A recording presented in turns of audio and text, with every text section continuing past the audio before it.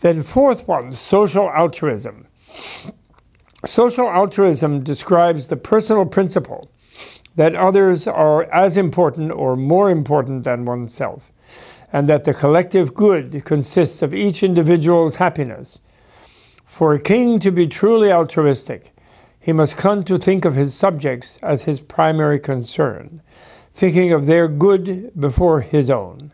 He must come to think of his job as channeling the energies of the whole society toward the welfare of each individual, leaving out no one. Prior to Ashoka, kingship in India was ruled by divine right. The king was the absolute commander of the armies. He could order whole towns or provinces put to the sword if people displeased him. Ashoka turned the role of the king into that of a benevolent father. Everyone deserved equal attention, concern, and compassion. Punishment for wrongdoing should be tempered by compassion. Although I have to say that from the Greek observer in the, in the Mauryan court, Megasthenes, Ashoka was not yet able to uh, abandon capital punishment. There are Buddhist uh, recommendations to kings, prescriptions for the behavior of kings, about two, three hundred years later, where capital punishment is totally ruled out and consistently, which indicates perhaps that kings did actually manage to do that. You know, they had life imprisonment, they had rehabilitation, they had even, in the worst case, exile. But um, capital punishment was ruled out but not in Ashoka's time, although he was articulating the principle. Their individual lives were supreme in value, as they could be used to develop toward freedom and enlightenment. Ashoka traveled around giving gifts. He commissioned his queens and ministers to do likewise. He planted trees along the roads. He built rest houses and hospices for the poor and sick. He patronized medicine and imported doctors and herbs from as far away as Greece. He provided for convicts and their families, sent out special ministers to investigate cases of judicial harshness or corruption, and repeatedly freed prisoners on special occasions. He always, when uh, the Indian kings were coronated, they would free all the prisoners, except those who were violently dangerous, you know. He would just automatically just free all the other ones. He was quite, on the other hand, he was quite autocratic in habitual disposition, because he, after all, was a conquering emperor originally. And this makes it all the more remarkable that he would adopt a principle in which others were soon to be, seen to be more important than himself. Number five, finally, his egalitarian universalism. And this is a little bit more complicated one in a way, I used sometimes call this democratism because it's the fifth principle of the Buddhist politics or politics of enlightenment, which is that all people are equal, and it's, illustrated in the beginning by Buddha by accepting people from the untouchable castes in his order and making them equal. And if they were older within the order as mendicants, they were superior, senior to aristocrats or kings uh, or, or high priests, people from the high priest caste, which was showing that his, which basically was walking his talk of the egalitarian nature of everyone. And, uh, but, he, but there was not an attempt to implement like a formal democracy like we have outside the Sangha. But nevertheless, the fact that the Sangha, living at a higher ethical level supposedly than the ordinary uh, society, that it had such a a democratic or egalitarian type of principle had a definite effect in the outside society century by century. You know? So egalitarian universalism for Ashoka is reflected in the edicts it follows uh, in his edicts.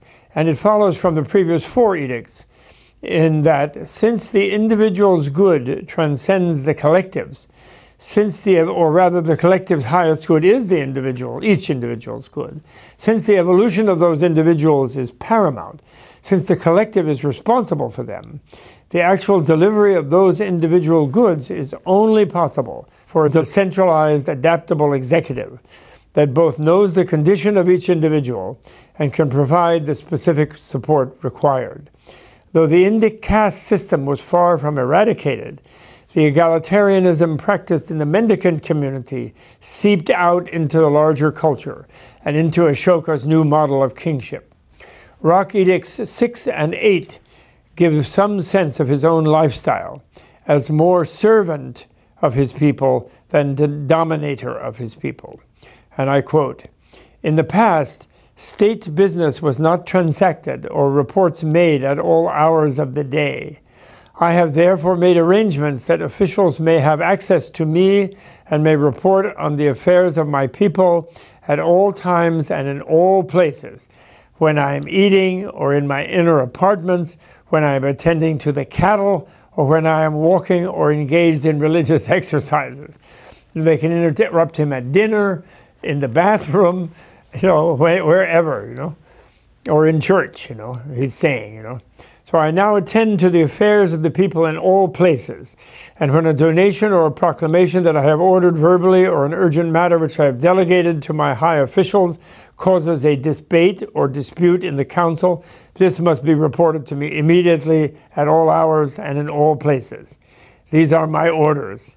I am never completely satisfied with my work or my vigilance in carrying out public affairs. I consider the promotion of the people's welfare my highest duty, and its exercises is grounded in work and constant application. No task is more important to me than promoting the well being of the people. Such work as I accomplish contributes to discharging the debt I owe to all living creatures, to make them happy in this world and to help them attain heaven in the next. King Ashoka does not consider glory or renown of great value, except insofar as the people, at present and in the future, hear of his practice of the Dharma, and themselves live in accordance with the Dharma. For this purpose he does desire glory and fame. End quote. Though after Ashoka's time, his heirs oversaw a bit of a backlash against his social engineering and lavish support of the Enlightenment education and cultural system. He brought the Buddhist, Buddhist levels of teacher, teaching, and community into the mainstream of his empire. And this surely was a big step on the way to the unfolding of the universalism inherent in the Buddhist movement and the Mahayana, or universal vehicle. Scriptures were soon to be released within the larger society, which the Buddha had instructed his followers to hold back in secrecy until the culture was ready for the enlightening principles to expand outward from the mendicant community into the larger lay society. It's worth telling an anecdote here of in the Ashoka story, where at the end of his life, when he was quite elderly and close to death, he had the ambition, his ministers discovered, that he had the ambition to give his entire empire to the Sangha community. He wanted to be the biggest donor that the community ever had as a good karma for himself. And so, therefore, the ministers locked him up because they were scared if he did that, then the crown prince, who would become king, would be angry with them for wasting the national treasury, and they would all be punished and so on because they would say, You let our dad give away the whole country to a bunch of monks. So the story is that he took, uh, he made like a, a pen out of some sort of piece of a splinter of wood of his furniture in his room, and he used his own blood as ink and he dried carefully and hid a mango skin somewhere from his meal, but until, waited until it dried and scraped it, so because it's quite tough mango skin. And then he wrote, "I hereby bequeath, as emperor, my the entire empire to the Buddhist Sangha." To bring that to the attention of the current patriarch Upagupta, whose name was Upagupta, the head monk of the main central monastery near Patna, Pataliputra as it was called signed Emperor Ashoka and imprinted with what he called his tooth seal. He had a special seal, one of his crowns on his teeth, gold crown, was made into a lion seal. That if he imprinted that like a seal on any edict, it, if you didn't obey that, you were doomed. And then he threw it out the window. He waited, he lurked by his window and he waited until he saw some monk go by in the street or something, and he threw it out at the monk and said, "Take it, take it to the thing quickly," you know. So then that monk took it to the Upagupta, the head uh, thing. But then Upagupta realized it would be dangerous to accept it. So he immediately came back to the ministers, uh, the head monk, and he's the abbot, you know, the head of the thing. And he said, you know, please tell the emperor he has now got the merit of giving the whole empire to the community, but we're ready to give it back to you for a modest sum. so we can build a few more buildings and we don't really want the whole thing. You know, you you guys need to manage it. We we are doing our own thing. So it's a really charming story, I think. So so anyway, he did try to give the entire kingdom to the community. The story indicates of Ashoka's effort to do that. Indicates something interesting about the cool revolution, which is that the Buddha himself was a king. And after enlightenment, he could have gone back to his throne and then ordered everybody to get educated, you know. But he thought top down was not the way to change the society and to change the majority of individual people. He thought this should be spread amongst the people and, um, and uh, not sort of in, imposed by the hierarchy. And that now it had become so widespread that in Ashoka's case and his own conversion from the violent fighter against the universe become emperor, you know, and then the anxiety of holding on to the empire and then repenting all the slaughter that he did, uh, made him very fervent in his uh, support of the Sangha. So he kind of then tried to make it the mainstream culture of the society and to give, the, which is what symbolically is meant, like that's by giving the empire to the community. Uh, but um, in a way, it showed Buddha's strategy was superior to his to Ashoka's strategy because, in fact, uh, after he did pass away, Ashoka, the next generation of uh, kings, his crown prince and so forth, they kind of withdrew the level of heavy level of support, and there was kind of a backlash against the against the prevalence and the widespread nature of the site and the expense of supporting all these mendicants and these big, like the expense of supporting big universities that were beginning to develop only in seed at that time. And um, so then, it, you know, that wasn't that serious a backlash, but somewhat. And then things took up again with the dual sort of system where the cool revolution proceeded like that. And it remained kind of countercultural.